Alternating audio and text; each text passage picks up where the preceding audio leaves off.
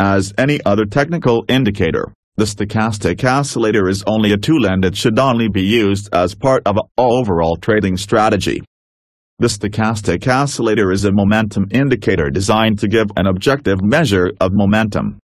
It shows the quality of the price trend and the trend direction itself and it oscillates in between 0 and 100 values.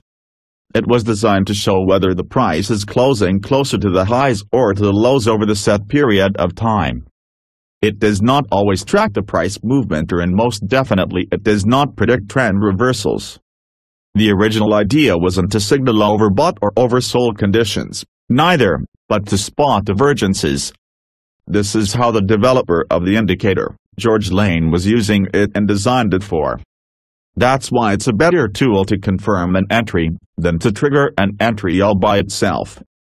A clear separation between the main and the signal line show a strong trend.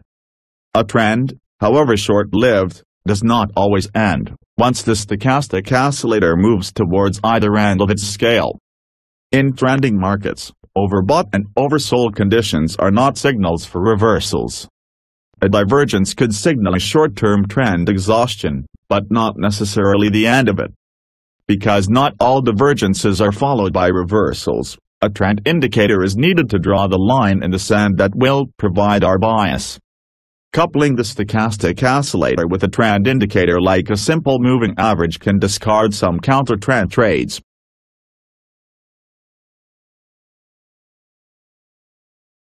To see more, please subscribe, give us a thumb up and share our clips.